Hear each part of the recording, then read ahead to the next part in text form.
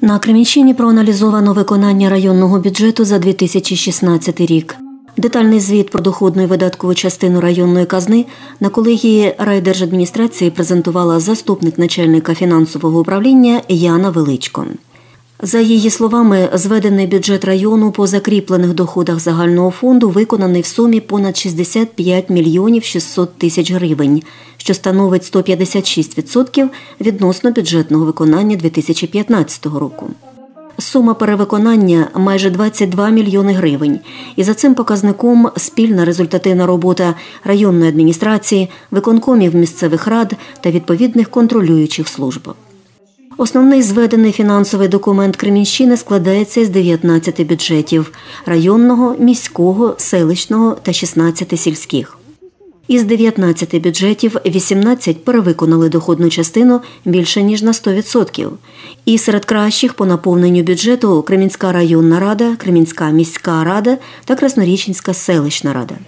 Задовільною у цьому напрямі названа робота Барниківської, Варварівської, Новокраснянської, Червонопопівської сільрад. А в аутсайдерах знаходиться бюджет села Епіфанівки. І, за словами доповідача, недовиконання його доходної частини говорить про незадовільну роботу тамтешньої сільської ради.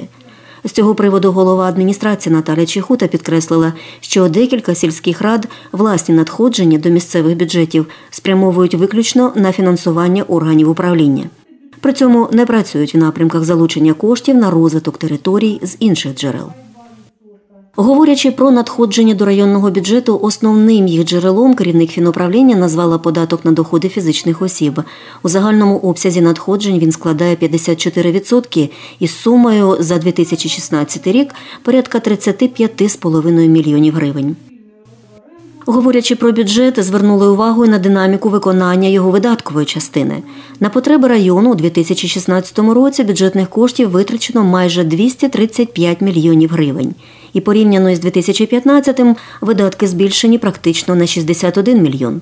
Значну частину бюджетних коштів спрямовано на співфінансування інвестиційних проєктів, реалізованих у партнерстві з державними фондами розвитку і міжнародними донорами, завдяки чому багато що оновлено, придбано, відремонтовано в установах соціального призначення, освіти, медицини і культури.